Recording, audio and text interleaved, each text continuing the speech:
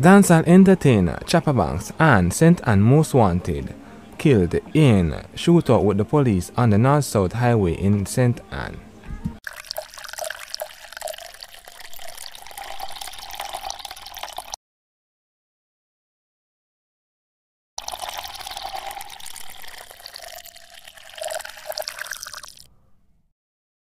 Welcome back to the Ryme channel peeps on do. Hope everyone is having a fantastic sunny day. And peeps, if this is your first time viewing the Ryme channel, please consider hitting that subscribe button and turn on the post notification bell so you won't miss another video from me. And peeps, I'm see the title of the video, you know what going on already.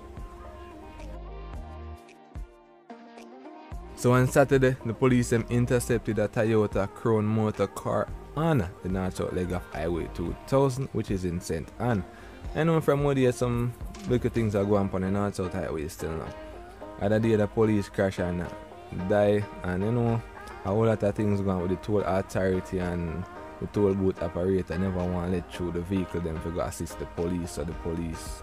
You know, so come to the injuries, you know, after crash and thing like that. But anyways, people, we're not gonna talk about that right now. We're gonna talk about the dancehall artist we get slapped along with Jamaica, not Jamaica, but um, St. Ann Most Wanted, um, fugitive. So yeah, peeps, So you know the police have intercepted the Toyota Crown motor car and the two person that was on board the vehicle, aboard the vehicle, and started firing at the police. That's what the news say, peeps.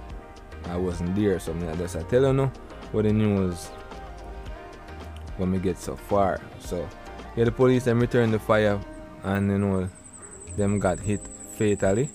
Um, also a police uh, officer got injured in the shootout, but it wasn't that serious anyways. So give thanks to the police, make it out same way. So yeah peeps, Choppa Banks lose him life along with St. Ann Most Wanted fugitive. That is Mantan Brown, also known as Bantan. So yeah, him get slapped with and him know him a run for a couple years now, peeps. I'm a 42 year old. A long time I run. Yes, so peeps, right now me going to read the article and leave an opinion and thoughts down in the comment section, same speed. And you know, tell me what you think about it anyways. So, Choppa Banks killed in shootout with cops. Dancer recording artist Choppa Banks was gunned down in a confrontation with the police on Saturday. The Chop Mode artist, whose real name is Swain Hall, was killed during a dramatic daylight shootout that claimed the life of one of St. Ann's most wanted, 42-year-old Mantan Brown, also known as Bantan, and also injured a policeman. According to a release from the Corporate Communications Arm of the Jamaica Constabulary Force, the Corporate Communications Unit, which is the CCU, the artist was aboard a white Toyota Crown motor car before 4 pm on Saturday on a section of the North-South Highway when it was intercepted by members of the Counterterrorism and Organized Crime Investigations Branch. Upon the approach of the police, the men aboard the car immediately began firing at the lawmen in a resulting gunfight, the CCU said. One of the shooters has been identified as a 42-year-old Mantan Brown, while Choppa Banks was also shot.